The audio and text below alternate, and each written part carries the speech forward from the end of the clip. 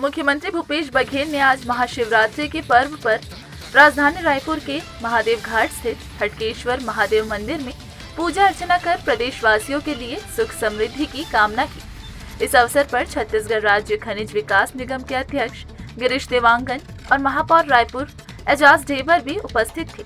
महाशिवरात्रि के अवसर पर मंदिर में विशेष साज सज्जा की गई थी।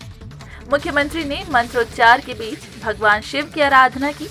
इस अवसर पर उन्होंने प्रदेशवासियों को महाशिवरात्रि पर्व की बधाई और शुभकामनाएँ दी।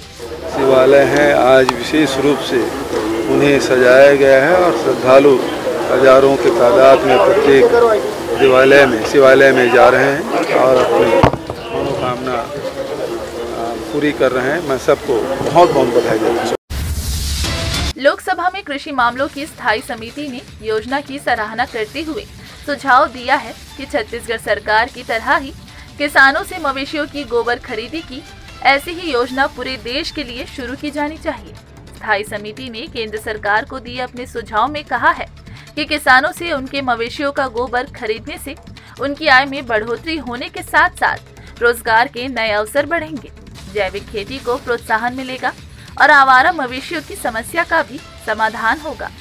इसके बारे में मुख्यमंत्री बघेल ने कहा कि राज्य सरकार की योजना की देश में सराहना हो रही है। यह प्रदेश के लिए गर्व की बात है। गोधन न्याय योजना से सबको लाभ होगा। मैंने तो पहले भी कहा था कि माननीय मुख्यमंत्री भूपेश बघेल जी का जो आइडियोलॉजी है, वो पूरा देश ने उसको सराहा है और पूरे देश के लिए एक मॉडल बन गया है। अगर पूरे देश में इस मॉडल को अडाप्ट करते हैं तो निश्चित रूप से गौ पालकों को एक सपोर्टिंग होगा। और जिससे कि जो मवेशी सड़कों में दिखते हैं, उसमें भी कमी आएगा। जो खेती करते हैं, खेती को नुकसान करते हैं, उसमें भी कमी आएगा। और दूसरी तरफ़ गौ पालकों को एक प्रोत्साहन मिलेगा। लोकसभा में स्थायी समिति ने गोधन न्याय योजना की तारीफ़ की। समिति ने कहा कि छत्तीसगढ़ की तरह देश भर में योजना लागू हो। मुख्यमंत्री बघेल ने कहा, यह प्रदेश के लिए गर्व की बात है।